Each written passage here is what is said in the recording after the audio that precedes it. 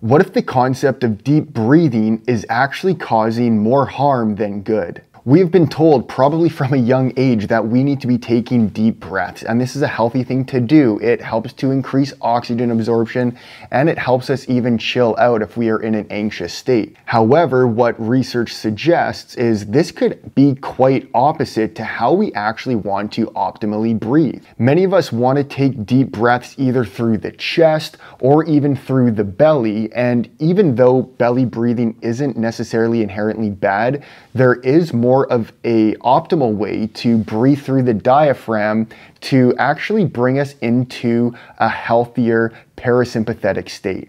If we are trying to force our breath through our belly or through our chest, then this can actually be triggering more of a sympathetic response, which is that fight or flight response. That will make us feel more stressed and more anxious. And even if you're experiencing, for an example, a panic attack, you're likely actually over breathing.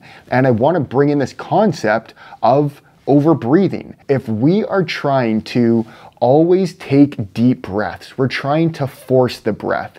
This is signaling to our body that we're trying to pull in more and more oxygen.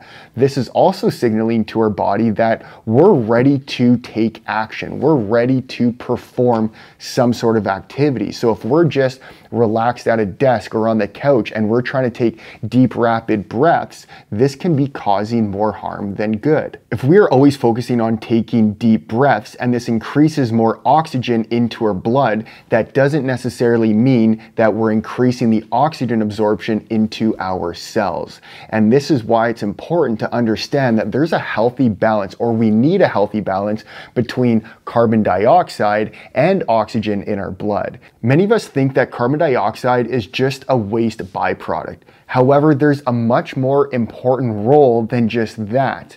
We need a healthy balance between carbon dioxide and oxygen in our blood. When we have oxygen in our blood, the carbon dioxide is what helps to release the oxygen from the hemoglobin to actually absorb into the cells. So if we are just focusing on taking deep breaths and forceful breaths all the time, then we're just recycling this oxygen in our blood and it's not actually being delivered to our cells. Knowing that oxygen is the number one essential nutrient our body requires to survive, to thrive, to function optimally, then we need to learn how to fundamentally breathe correctly. As the title of this video suggests, Yes, overbreathing can cause many issues. It can cause issues with damaging your red blood cells, damaging your cells in general. This can cause issues to the brain issues to your lungs, issues to literally all functions of the body,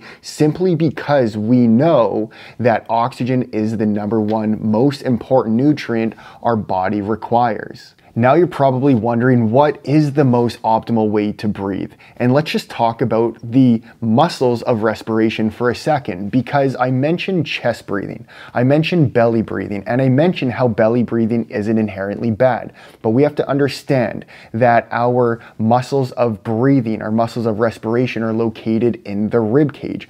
Our diaphragm is located in the rib cage. Our intercostal muscles, which are muscles between our ribs, are of course located in the rib cage. So we need to lear learn and understand how to, sure, initiate the diaphragmatic breath from the belly, but also how to expand the rib cage circumferentially, meaning in all directions simultaneously. And that's what I'm going to show you how to do. Now, the first thing and the only thing that you're going to need is a rolled up towel or a block from block therapy. And we're just going to get us to feel what it's like to initiate the breath from the diaphragm, and then how we can expand this truly into the rib cage. That is step one. When you are ready, position the block or the rolled up towel directly over top of your belly button. Now nice and slow, let's bring yourself over top of the tool and let's just stay up on the elbows initially. Now what I want you to do is breathe in and out through your nose the entire time. As you inhale, I want you to feel your belly starting to rise into the tool. And this is a really good starting point. And if you can't sense this right away, that's okay. This may take a little little bit of time. And then as you exhale, I want you just to do this nice and gently and just feel the block or the towel sinking deeper within the belly.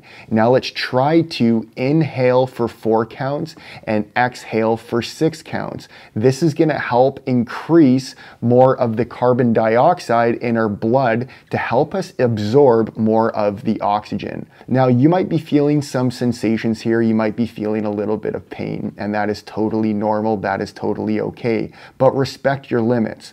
Now, as you settle in, you can bring yourself flat to the floor. And I want you to get into a rhythm here. I want you to find that rhythm of, inhaling for four counts and exhaling for six counts.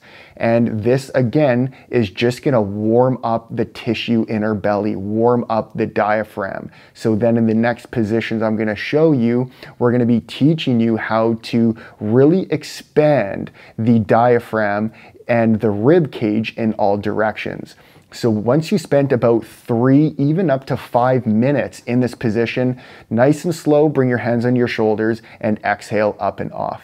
This next position isn't necessarily a singular position, but I'm gonna show you how to decompress your rib cage. And we're just gonna pick a spot in the side of our ribs. Now grab the rolled up towel or the block and let's position this either on your right or your left rib cage. And we're going to lay on our side and wherever the block or the towel is, let's just rest our elbow on the floor, bend the elbow and rest your head in your hand. Now let's get nice and comfortable.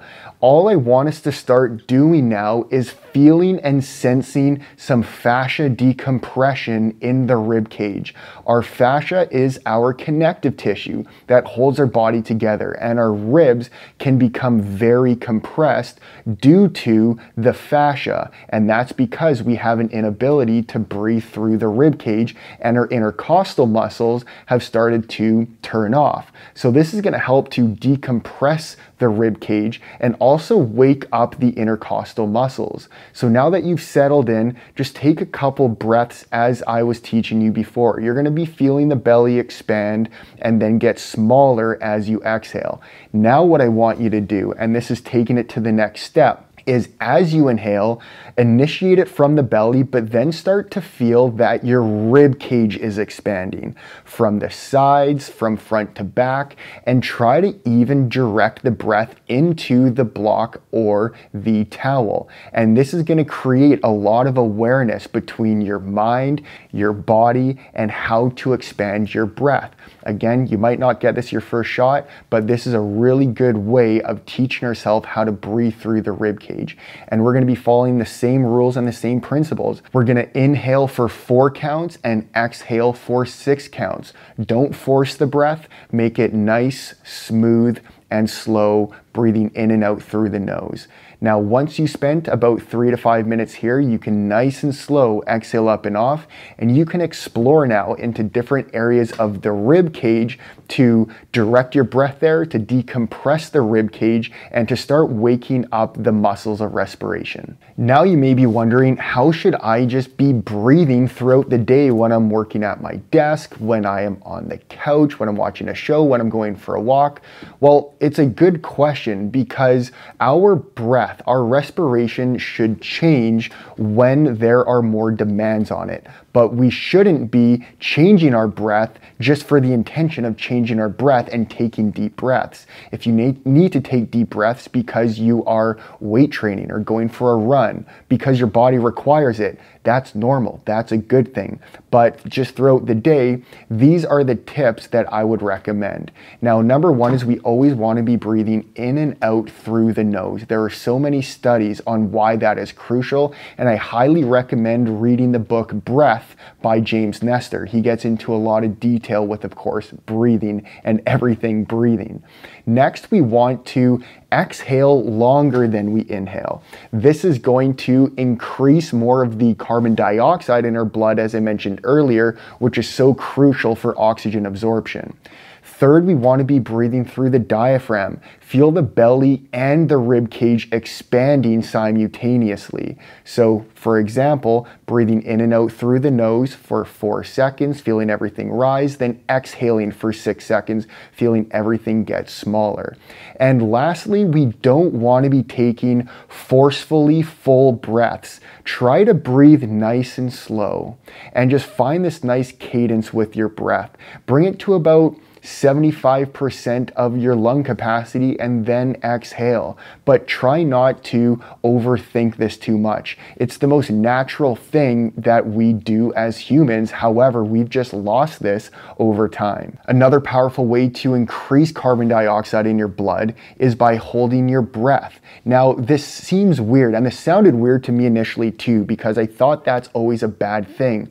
However, this is teaching us to increase the carbon dioxide into our blood. So this doesn't mean hold your breath with every breath, but spend a few minutes a day exhaling fully and then hold your breath for maybe 10 seconds, 20 seconds, 30 seconds and do that for a few minutes a day and then that will improve and increase. You're going to notice that you're going to start feeling a lot calmer, that you're going to have more energy levels.